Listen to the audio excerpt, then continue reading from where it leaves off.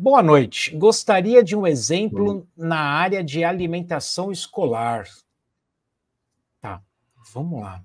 É... Gente, quando você fizer uma pergunta, quanto mais você municiar a gente, melhor.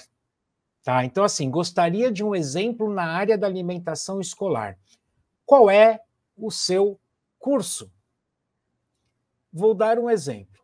Estou fazendo estou fazendo curso de direito e gostaria de trabalhar a respeito da legislação que rege a alimentação escolar no Brasil. Ó, isso já dá pistas para a gente poder trazer algumas ideias. Estou fazendo pedagogia e quero falar da alimentação escolar. É outro caminho. Estou fazendo nutrição e quero falar da alimentação escolar. É outro caminho. Hum. Então eu não sei. Né? Estou fazendo educação física e quero falar da alimentação escolar. Estou fazendo geografia e eu quero falar da alimentação escolar. Então, fica difícil, né, Fábio? Não sei o que, que você me diz. Não, na verdade, eu, é, essa é uma das perguntas que, de propósito, ela, você vai ver que ela se repete abaixo, algumas assim, de que ela, elas estão muito amplas. E, e, aí a gente consegue per, perceber, às vezes, a pessoa.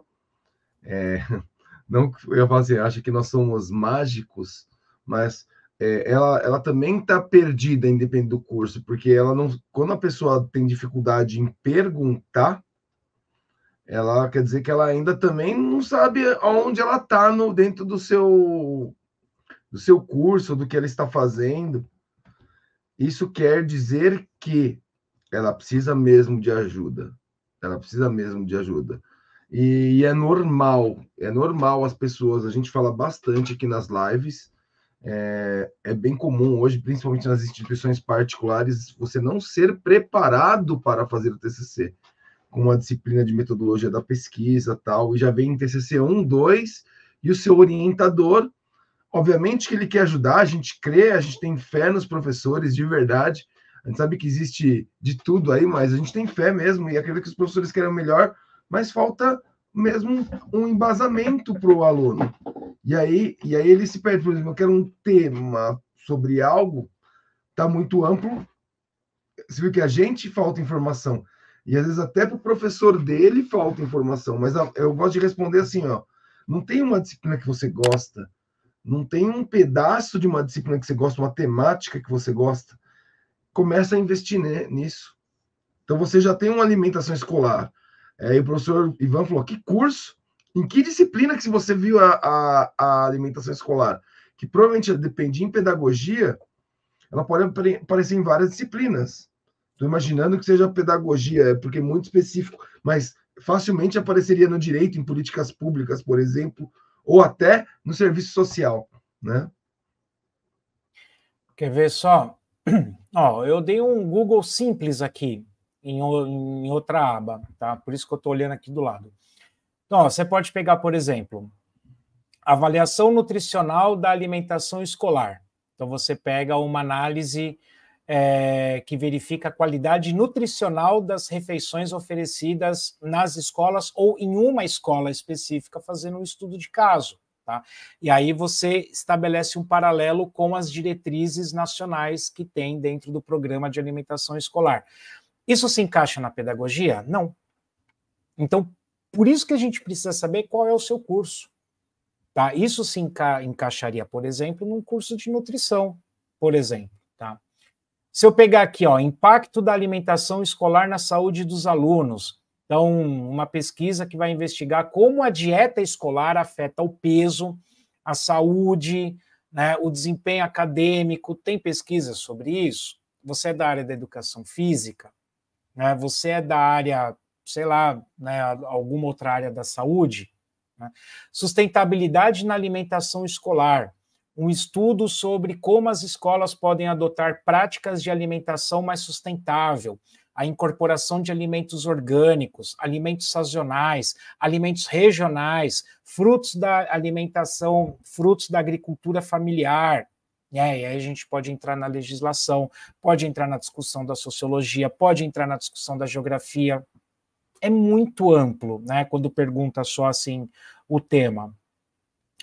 Uh, análise de, de, política pública, né, de alimentação escolar, uh, prevenção à obesidade, né, eu sou de um tempo, por exemplo, que a alimentação escolar, você pode falar da história da alimentação escolar, né? É, o Fábio, eu não sei, né? eu sou de um tempo em que a alimentação escolar era uh, sagu ou sopa, né? E eu lembro que quando a gente era criança, uh, ah, hoje vai ter Hoje não, semana que vem nós vamos fazer uma salada de fruta, mas para fazer a salada de fruta, cada aluno tinha que levar uma fruta. Eu não sei se o Fábio pegou isso, mas eu peguei várias vezes. E era uma festa, cara, porque, tipo, um levava uma banana, outro levava uma maçã, outro levava não sei o que lá. A merendeira juntava tudo que a gente entregava na hora da entrada e na hora da merenda era salada de fruta. Então, assim, eu venho de outra realidade de alimentação escolar. Outra coisa. De onde você está falando? Quente, a gente era comer umas três vezes, era uma loucura. Cachorro quente?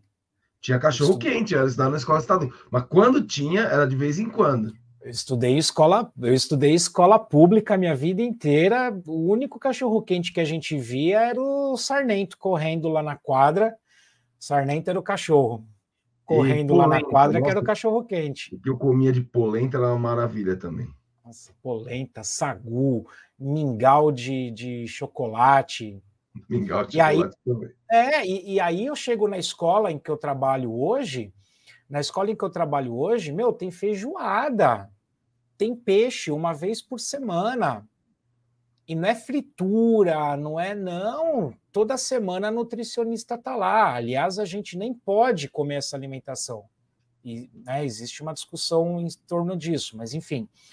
A alimentação não é para o professor, não é para o funcionário, a alimentação é para o aluno. Então, assim, olha quantos exemplos a gente pode trazer aqui sem você dar pista. Então, sempre que você deixar uma dúvida a respeito né, de uma sugestão de tema tal, dê munição para gente. Da onde você é, qual curso você faz, o que você pensou fazer, né? Porque isso vai ajudar a gente é, delimitar, né? Te trazer um caminho para ajudar no seu tema.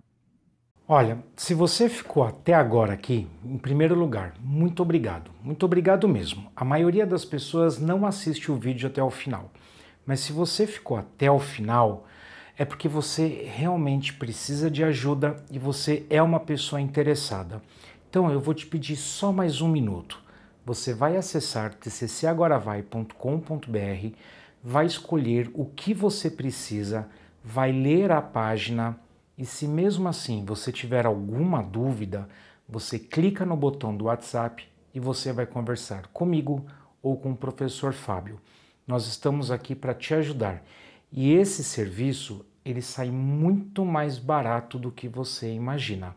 Você pode ter a minha orientação, a orientação do professor Fábio, acesso a todo o curso do TCC Agora Vai, vai aprender passo a passo tudo o que você tem que fazer vai apresentar com excelência o seu TCC e vai ter a minha leitura, a minha orientação, a leitura do professor Fábio, a orientação do professor Fábio, a chamada de vídeo, as dúvidas pelo WhatsApp. Olha, eu não vou mais tomar o seu tempo. Acesse tccagoravai.com.br, leia o que está escrito. Na dúvida, clique no botão do WhatsApp, vamos conversar. Eu não quero você com, você com dúvida, eu quero você com o seu TCC pronto, com qualidade, num tempo razoável e que você seja muito bem avaliado pelo seu trabalho. Valeu? Eu te espero lá.